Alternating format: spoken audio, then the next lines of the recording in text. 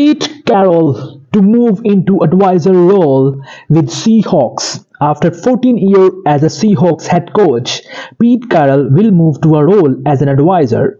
Seahawks chair Jody Allen announced. Hello everyone, welcome to this channel and stay tuned till the last. The Seahawks and Patty Carroll, who over the course of 40 seasons became the winningest coach in the franchise history, have amicably agreed that his role will evolve from head coach to an advisor with an organization Seahawks chair Jody Allen announced on Wednesday.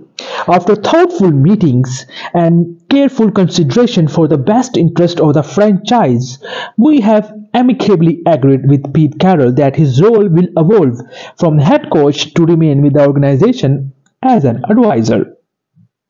Allen said in a statement, Pete is the winningest coach in Seahawk history, brought the city its first Super Bowl title, and created a tremendous impact over the past 14 years on the field and in the community.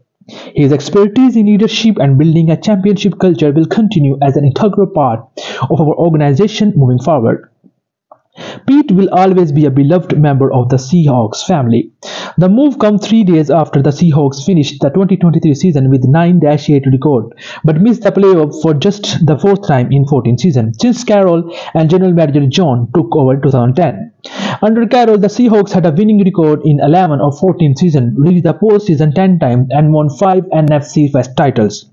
The 2013 team became the first in franchise history to win a Super Bowl going 13-3 in the regular season before the beating the Denver Broncos, who had the highest scoring offense in NFL history, 43-8 in a Super Bowl.